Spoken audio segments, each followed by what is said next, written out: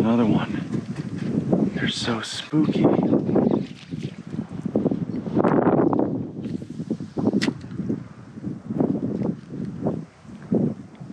I didn't even see that one before he saw me.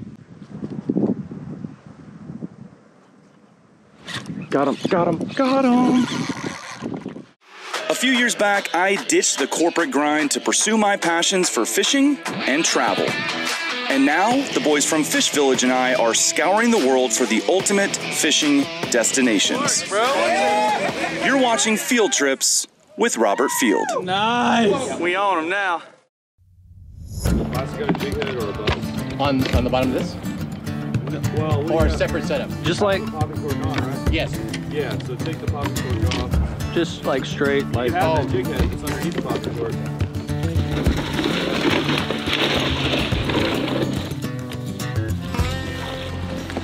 All right, guys, back in the water. We've learned quite a bit. Last night we were going through the ANGLR app, figuring out what went wrong, what went right, and how we can find some more fish today. We are looking for some different areas that got some similar aspects, but really have more water flowing through them ideally. So a little bit more knowledgeable, a little bit more prepared today. We're gonna get out here and see, see what we can get into, see if we can find some more fish than we did yesterday. We got into some good ones, but we're looking for more numbers than what we found yesterday. We'll see what happens.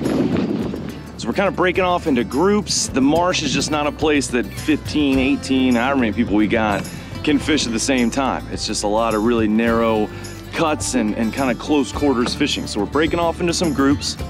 I'm gonna be with Rex Del Rey, Brooks Beatty, we got Mike Ponce and Joe Martinez from Fish Village. We got some wind today. The conditions are not ideal. We got a super low tide. It's gonna make it tough. We're gonna have to work for it, but the fish should be chewing. Nice. First fish on. Oh, dude, that's pretty good one.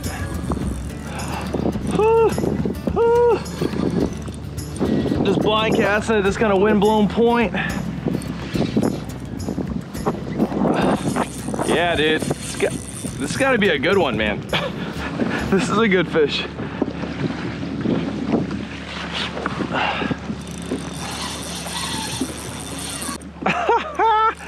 Oh yeah. All right, we just started fishing. I haven't really got to the spot we were trying to get to. And I got a good one on you guys. this gotta be over slot, man.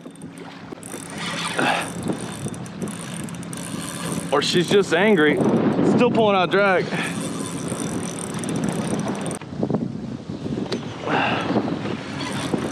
Got a little bit of wind to deal with. Man. Sleigh ride. Sleigh riding, that's right. Louisiana sleigh ride. Come here. Man. It's a relatively light rod. I don't think she's huge, but.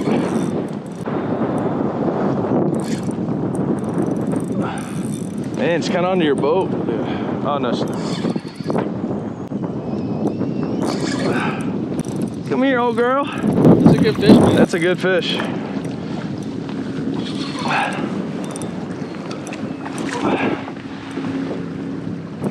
Man, it's not giving up.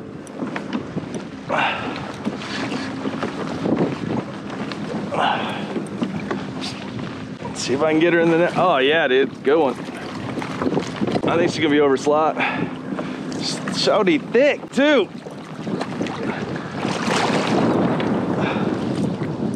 My net's too small. Come here. Oh yeah, bro. nice. Hey, yeah, that's a good start to the morning. First thing this morning, and that girl's gonna go over slot, almost positive. Luckily here in Louisiana, you can keep one over slot per day. Oh my God. There we go.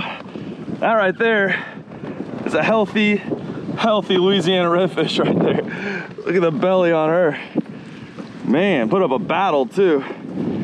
Got this little underspin, soft plastic on an underspin, chicken boy. That's a little Texas lure. She did not come quietly. Phew.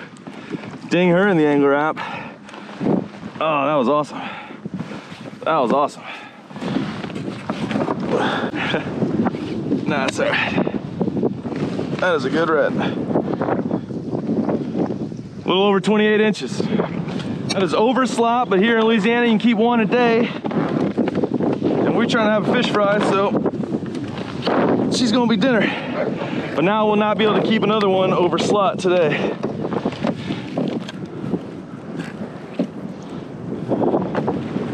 Over here trying to get my breakfast out. Bobby's, Bobby's catching fish. Just throwing it at, at points, you know. Textbook, Brooks. Textbook. All right. Yeah, yeah. I threw it at, at kind of that point that was jutting out, I think. Welcome back to Louisiana. First good fish is overslot red. Just got out here, just got started. Sick. All right, so there's not much water in this, but when I went by the entrance, I spooked a few reds up into here. And so they were hanging out the mouth. I fished that for a few minutes, nothing. And now I'm working my way up in here. I mean, it's, it's too shallow to pedal but I'm slowly making a little bit of headway. And what I really want to do is sight fish, right? Stand up and paddle and look and listen and try to spot a redfish and then cast to it. And really, this is the perfect kind of area to do that because it's so shallow. Problem is with this 30 knot headwind, I just can't make forward progress standing up and paddling. My rudder's dragging. I mean, it's uh, it's skinny up in here, so I can't fish it the way I want to but I've already pushed one wake that looked like a redfish uh, that I spooked. So I'm just gonna kind of fan cast, blind cast up in front of me on both sides and see if I can't pick up another red or two in here. Spook something there, a little mud cloud. Yeah, these conditions are not letting us fish the way we want, but making the best of it, working around it, and just trying to find some feeding fish. When I'm blind casting in the marsh, I'm looking for points where the grass comes out. All the fish we've seen so far have been pretty hugging tight to the bank, to the grass. And anytime you got like a long straightaway of grass and all of a sudden there's something juts out, even if it's just a foot, lot of times redfish will be hanging out. It's just really good ambush point. So when I'm, when I'm forced to blind cast, which I really don't like doing, I like I like fishing the marsh because you can sight fish and really kind of pick your shots, but can't control the conditions. They're not allowing for that. So when I'm blind casting, I'm looking for points in the grass. Points or even pockets, but basically a pocket is just sort of a double point, right? Same kind of concept. And I mean, they'll cruise all along it, so you can catch them anywhere. And ideally, you're kind of along the bank and dragging it along the bank towards you. That strike zone, at least what it looks like so far, is kind of those first few feet off the grass where they're hanging out. At least the feeding fish.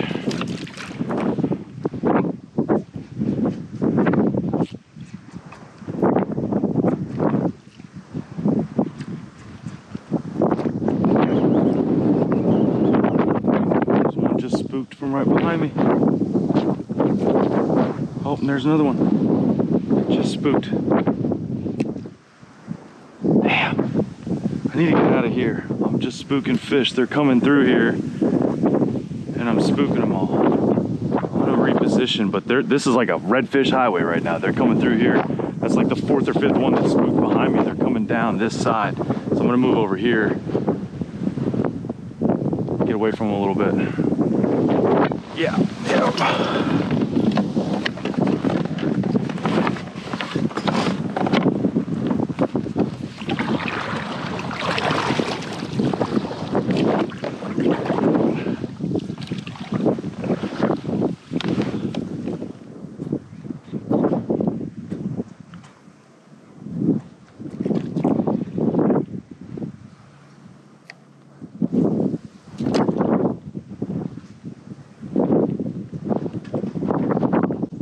another one. They're so spooky.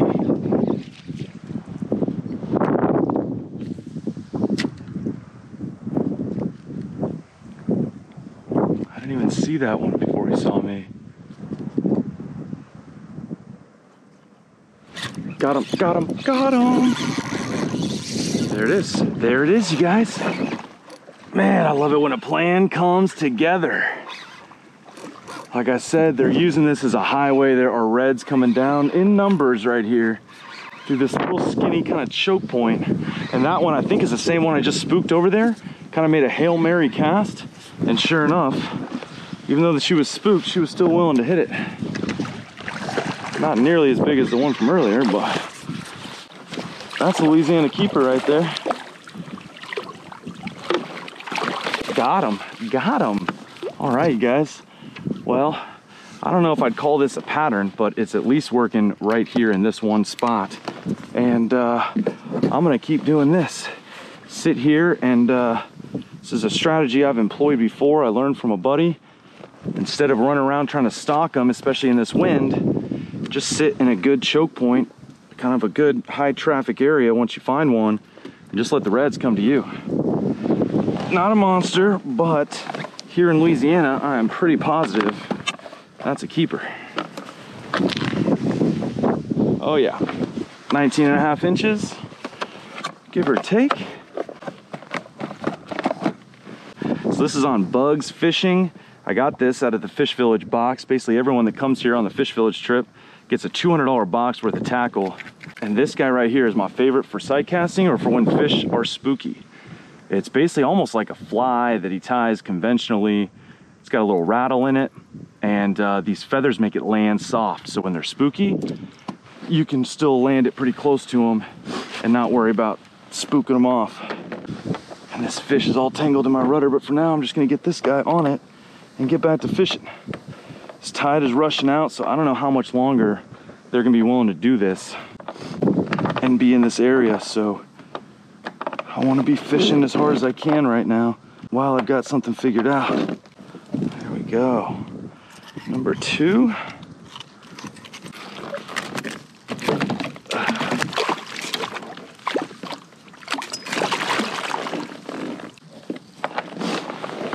Okay, there we go. Let me stand back up, get back to it. Might be able to scratch out my limit right here, just waiting for these guys to cruise down.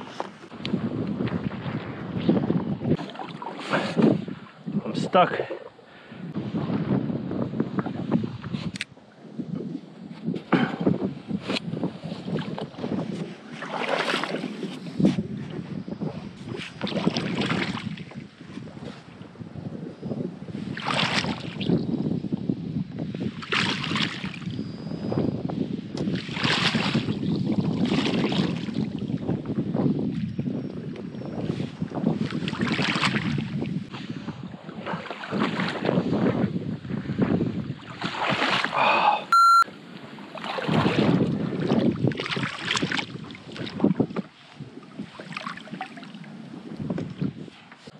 stuck. in some of the clearest, beautiful water. Oh my God. Oh.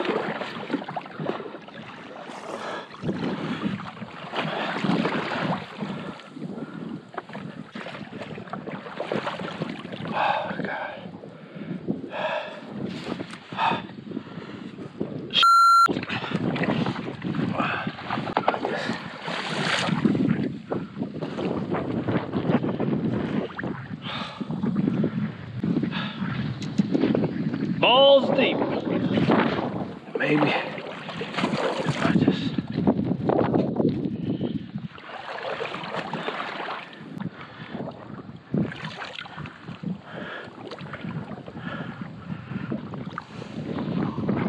Hi Brooks!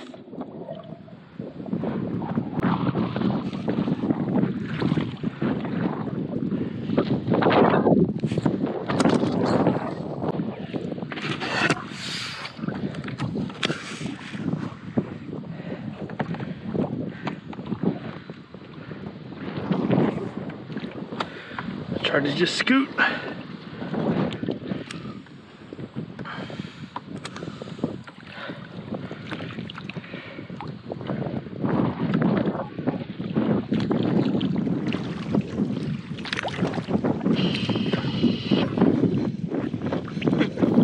It's a little shallow back there. Dang, dude. It's ironic, really.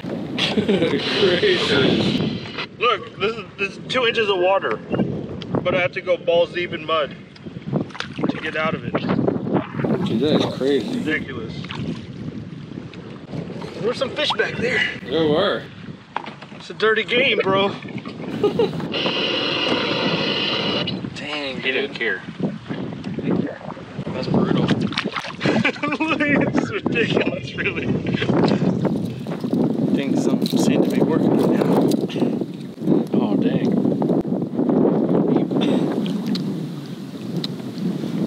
Got my sexy, I gotta take my sexy boots off. The water got in them, obviously.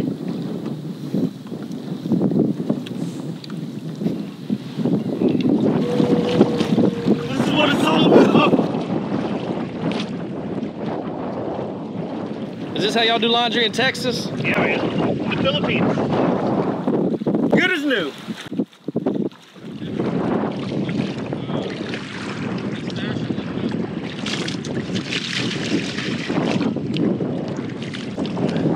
Let's go get on them.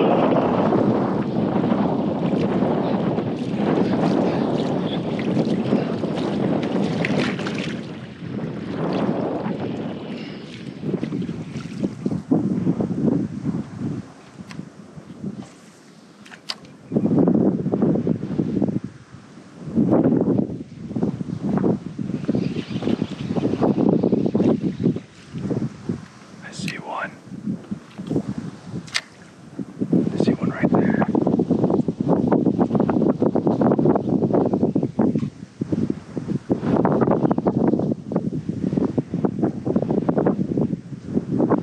Oh, I didn't eat it. I think I spooked her too.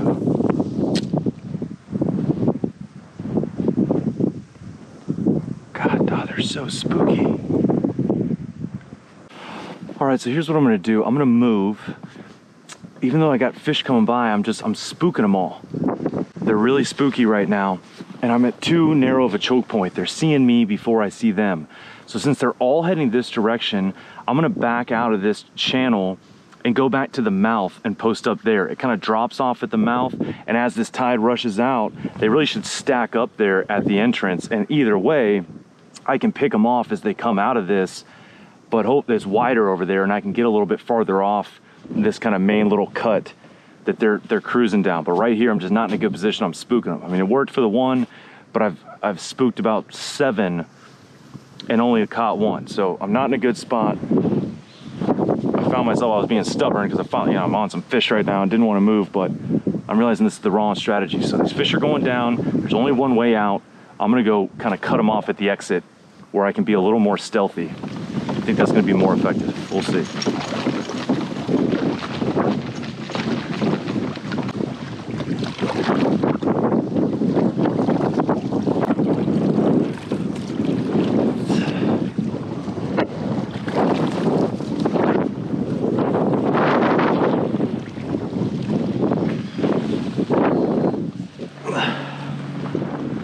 All right, made it out to the mouth, and I mean, I'm sure you can hear it or see it. I can feel it. It's windy, crazy windy today. Now I'm not really blocked from it like I was before, but anyways, I know these fish got to be coming through here. It's a really narrow channel that have to come out, so I've kind of got them pinned. But I'm gonna kind of double time. So I'm gonna be casting at this main cut that I just came out of. That's where I came out of. And it's the deep water's real narrow there. So I mean, basically, if I just keep casting there, I should eventually time it right. And hopefully I can also see some coming down. But at the same time, the way the wind is, I noticed there's a good opportunity. I think I'm gonna throw this gulp on a jig head under the popping cork, throw it out behind me and just let it hang out over here because there's also deep water coming through there. And uh, I haven't explored that, but there could be redfish coming out of that. And this thing, since the gulp's got scent, even just sitting there, and especially bouncing in these wind waves with the cork, it's liable to get picked up, even with me not moving it or even touching it theoretically, I should get bit on one or the other. Let's see what happens.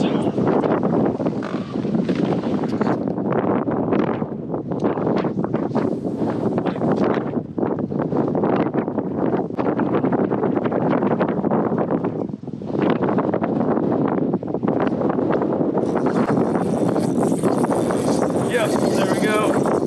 There we go. Thought I was hung up, but I wasn't right at the point, right where I thought these fish would be. Oh, and I don't want it to tangle with my other one, and it did, and it did. Okay, it's off. Man, it's so gratifying when you got tough conditions like this, but you kind of figure something out and kind of go on sort of your knowledge and experience in this fishery, this type of fishery at least. I've never been here. And, uh, you know, everything that kind of should work theoretically actually works. It's kind of a nice treat. Another keeper for sure. Not a monster, but nice. All right, guys. Now we're figuring something out. And there we go. So over here, since the wind's blowing, it's not as clear water. So I switched over back to what I got that overslot on. A little chicken boy, a little soft plastic, kind of brighter, more gaudy colors, and then that little underspin, give it a little flash. And there you go. The results speak for themselves. That worked out. Uh, this wind is relentless, but putting together a, a limit here. And that guy's a little over 21 inches. Definitely keeper.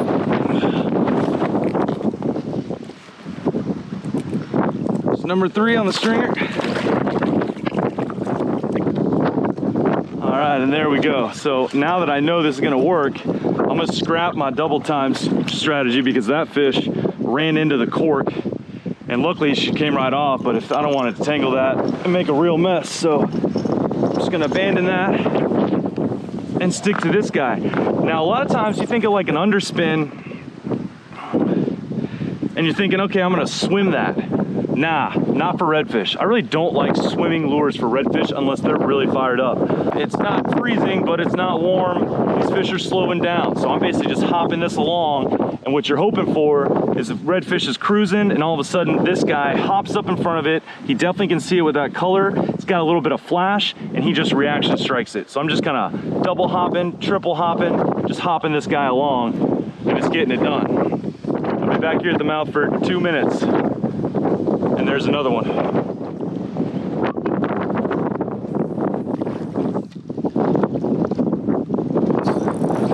Yep.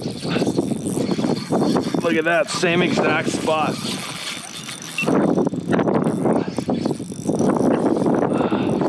Can't let it get around that corner. This feels like a better one. Get over here on this side of that, please.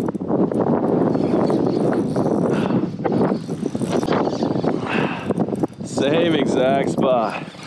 And this has to be a keeper based on the fight. Nice. now we're on something, guys. Now we're on to something. Right there where that's dumping out, where all these redfish have been cruising out of.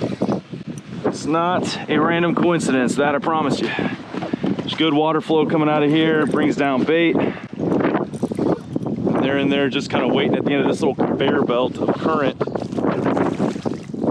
gobbling up anything that comes by them. And that was maybe five, six casts after that last one. Come here, girl. Come here. Nope. Nope.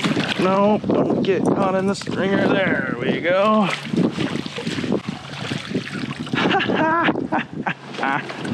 okay, guys.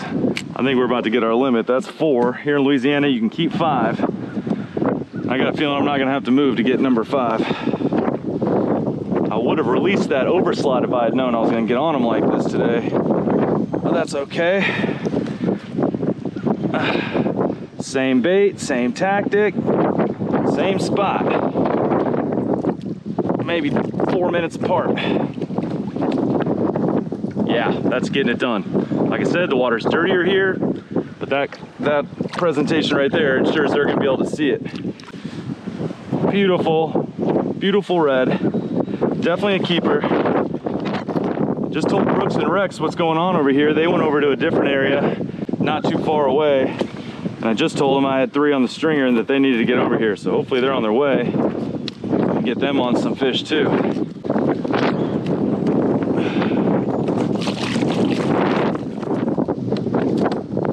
All right, guys, how awesome is this? We found a little honey hole right here. Call this Redfish Highway. They're just cruising through here. I was really hoping to find somewhere I could sight cast them, and I kind of did, but they're just too spooky today. Too much sun. It's too shallow, and the water's cleaning up pretty pretty quick because there's so much current moving through here. But we're getting it done. Phew. See if we can't get one more for number five. That'll be our limit. They're all coming out against that bank. But I feel like they're probably doing it here too. I haven't made a single cast there. Yeah. Nice. Now Brooks is on. He came over here, casted the point a few times. He's got one. They are stacked up in here.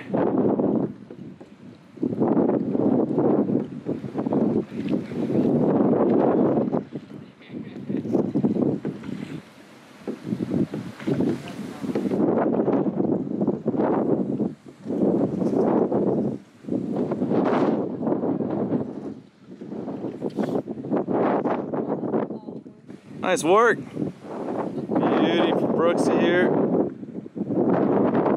Nice, man. Keeping it. You got a stringer?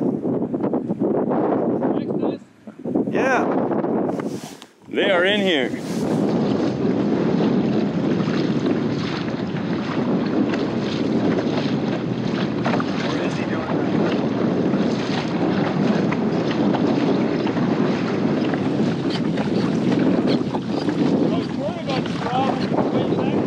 Yeah. Thanks for waiting up, bro.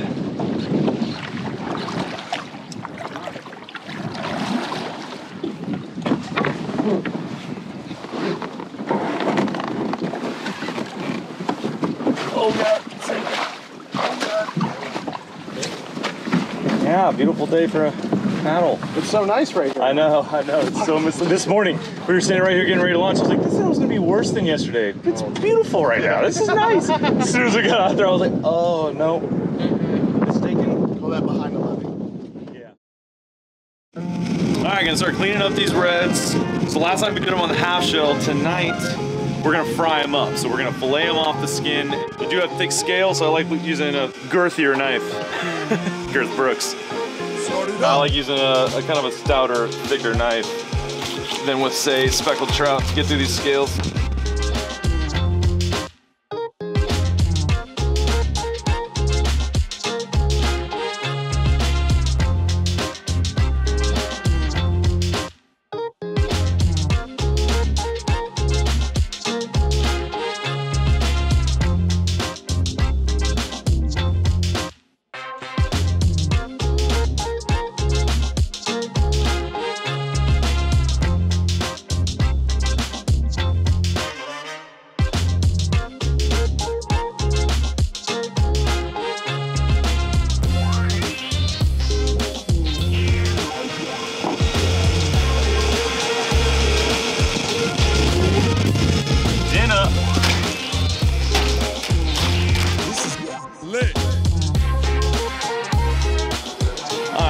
Last night we did redfish in the half shell, which is how I usually cook them. But tonight we want to show these guys different ways to eat these things.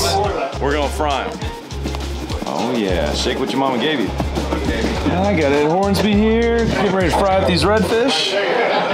What are we uh, seasoning them in? Cajun land, never heard of this. So we've got some redfish that was caught today, a little seasoned cornmeal batter, and some really hot oil. So it's a Peanut and blend. soybean, nice. I like peanut oil, man, for frying fish. Yeah, it's just food allergies. True. You don't want to have to ask. We can. Man, I'm so excited. It's a tough day battling that wind. I'm ready for some some hot, crispy fish. It's gonna be good. It's gonna be real good. Just take a few minutes, right? I mean, first taste test. How we looking? Looking good. Crunch. All right, the thin pieces are coming out. I'm gonna do a little taste test. Make sure, make sure Ed's doing them right. You know, just quality control. Whew, hot, hot. Oh. Perfect. I see him coming. He's coming up current. Crispy on the outside, but like still moist and juicy and uh, perfect on the inside. That's good right there. It's the only way to do it. Hot. Is it hot? You gotta put the. Weird, it just came out of that hot grease.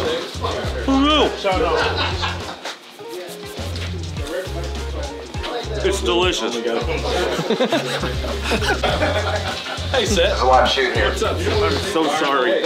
Fish fresh. Fresh fish is so fresh. Fresh fish for fish fresh. Oh, that's back. That's not my problem. It's not where the salt. It's What we got in there? Jambalaya. Jambalaya. Jambalaya. Hush puppy. Hush puppies. Fried fish. It's Louisiana right there. Hey, thanks for get it. You're, you're welcome to pick it up the spoon. How do you put that on? You just dip it in fish. What do we do with this? It's good. Oh, Oh, that just happened. so sweet. Man, it got quiet quick.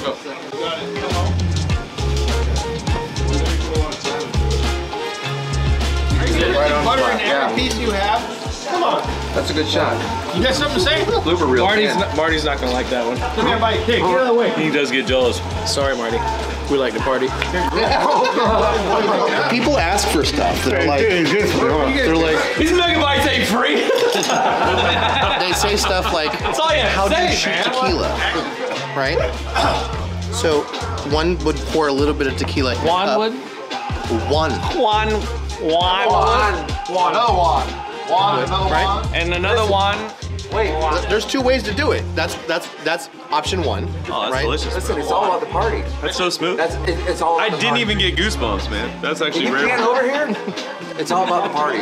Right there. No. Actually, I'm not a tequila drinker, and you didn't see the face.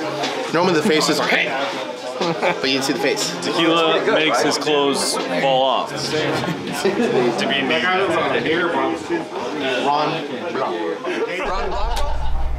Man, I love Louisiana. Good food, good people, good fishing. What more could you ask for? Incredible day in the marsh today. Just had a blast.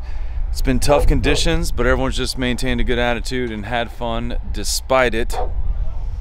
I'm worn out. It was a little bit of a workout getting around in that wind, but just had an incredible meal. Jambalaya, fried fish, tartar sauce, hush puppies. I mean, just the works. About as Louisiana as a meal can get. Just incredible, but it's gonna be an early start tomorrow. We gotta get out there before that water dumps out of the marsh. It is, the, the conditions just have it falling tide from a low tide all day. And so the earlier we get out there, the more water there's gonna be, and most of the fish were caught this morning. So we're gonna get to bed early. These Fish Village trips are always incredible from New Zealand to Mexico to offshore California to here in the Louisiana Bayou. Doesn't matter, it's always a good time. Tomorrow's gonna be a good time as well. I will see you then. In the meantime, thanks. If you enjoyed this, please like, subscribe to the channel. I'd love to see you back here every week. Got something different every week. We'll see what tomorrow brings, and I'll see you here shortly. Thanks so much for watching. Have a good night.